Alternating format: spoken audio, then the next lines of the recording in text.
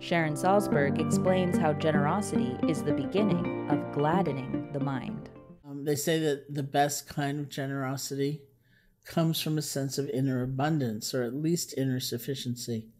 So that in giving, or making an offering of our time, of our energy, of something material, we don't end up feeling depleted or we've lost something. We're, we're somehow bereft uh, because there's enough basis, there's enough inner abundance to be able to offer um, without that that other kind of seeming consequence.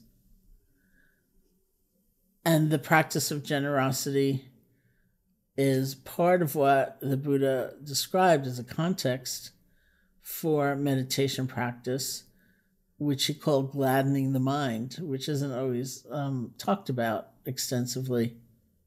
The idea is that when we encounter some of the real pain of life, um, and we're encountering that pain without um, kind of seeking endless distraction and without trying to deny it and without adding shame and blame and, and all those things that we tend to add to it, we need to be meeting the difficulty that we're experiencing again within a certain context. We can't feel like so exhausted, for example, that we can barely imagine listening to someone's really sad story or facing our own disappointment about something.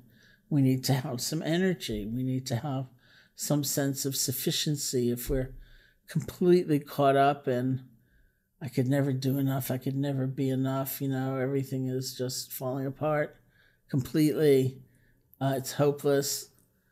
Uh, it's like we don't have enough sense of inner resource or wherewithal to to meet the moment. And so, um, a lot of what the Buddha talked about in terms of that contextualization was understanding that um, we can build that sense of resource.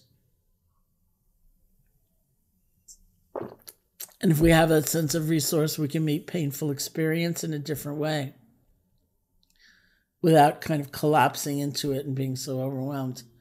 We can meet joyful and wonderful and beautiful experience in a different way because we're not so desperate to hold on to it and keep it. And so building that sense of resource is important.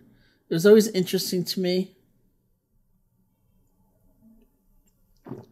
in terms of the Buddha's teaching that suffering itself is not redemptive. The point is not to suffer, um, the point is to relate in a certain way to our suffering because we know that from life, right? We probably all know people who've had a hard time and faced a hard circumstance and they're bitter, they're angry, and they feel all alone.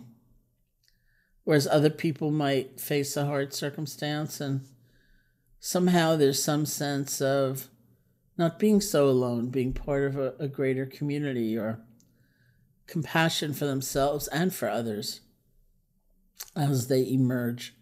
So it's not the suffering per se that's the point, but how how we relate to it and how we meet it. And we want to be able to meet difficult circumstance with as much resource cooking within as we can possibly engender. So that's where gladdening the mind comes in. Um, so we don't feel consumed by, uh, you could say, the darkness.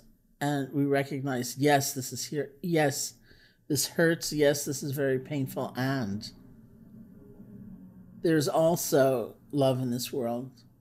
There's finding ourselves in one another. There's sometimes a bigger truth that we see that we are all interconnected, and so um, we move on together in, in some very profound way as a part of life, no matter what has happened to us or is happening to us. Generosity is the beginning of gladdening the mind because it makes us happy.